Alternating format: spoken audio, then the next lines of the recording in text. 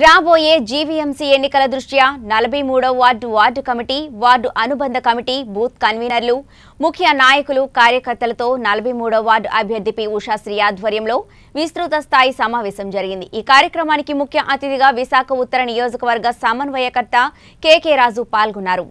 అనంతరం కేకే రాజు మాట్లాడుతూ ముఖ్యమంత్రి వైఎస్ జగన్మోహన్ రెడ్డి రాష్ట్ర అభివృద్ధికి అహర్నిశలు శ్రమిస్తూ ప్రజాభిమానాన్ని చూరగొంటున్నారని మేనిఫెస్టోలో పొందుపరిచిన నవరత్నాలను కేవలం పద్దెనిమిది నెలల్లోనే అమలు చేసి డైనమిక్ ముఖ్యమంత్రి అయ్యారని అన్నారు. మహిళలు ఆర్థికంగా నిలదొక్కుకోవాలనే దృక్పథంతో వారికి అన్నింటిలో యాభై శాతం అవకాశాలు కల్పించారని ప్రతి ఒక్కరూ ప్రభుత్వ సంక్షేమ పథకాలు ప్రజల్లోకి తీసుకువెళ్ళి మనమందరము సమిష్టి కృషితో పనిచేసి వచ్చే జీవీఎంసీ ఎన్నికల్లో విజయం చేకూర్చి జగన్మోహన్ రెడ్డికి కానుకగా ఇవ్వాలని అన్నారు. ఈ కార్యక్రమంలో మాజీ ఉడా చైర్మన్ రవి వార్డు అధ్యక్షుడు దుప్పలపూడి శ్రీనివాస్ మాజీ కార్పొరేటర్ బుల్సు జగదీష్ బొడ్డేటి గంగా మహేష్ మరియు నలభై మూడో వార్డు నాయకులు తదితరులు పాల్గొన్నారు. ఉత్సాహంగా ఉత్తేజంతో ఉన్నారు. ఎందుకంటే మన జగన్మోహన్ రెడ్డి గారు చేపట్టిన పథకాలు ఆ, గురించి చెప్పుకోవాలంటే మనం ఏదైతే మేనిఫెస్టోలో చెప్పామో నవరత్నాల గురించి అది మనం ఫైవ్ ఇయర్స్ టైంలో చేస్తామని చెప్పి ఎయిటీన్ మంత్స్లోనే మొత్తం అన్ని కార్యక్రమాలు చేయడం జరిగింది.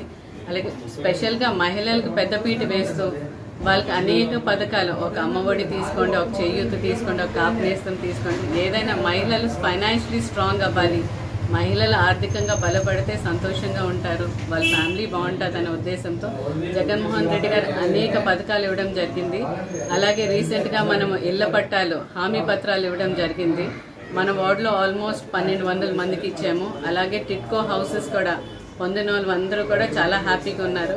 గత ప్రభుత్వం ఏదైతే హామీలు ఇచ్చి తీర్చలేదో మన ప్రభుత్వం రాగానే ఫస్ట్ మహిళల్ని హ్యాపీ చేయాలని చెప్పి వాళ్ళు వాళ్ళు పెట్టిన అప్లికేషన్స్ అన్నీ యాక్సెప్ట్ చేస్తూ అర్హత ఉన్న వాళ్ళందరికీ ఇళ్ళ పట్టాలేంటి ఇళ్ళ హౌసింగ్ ఏంటి టిట్కో హౌసింగ్ ఏంటి అన్నీ రిలీజ్ చేయడం జరిగింది.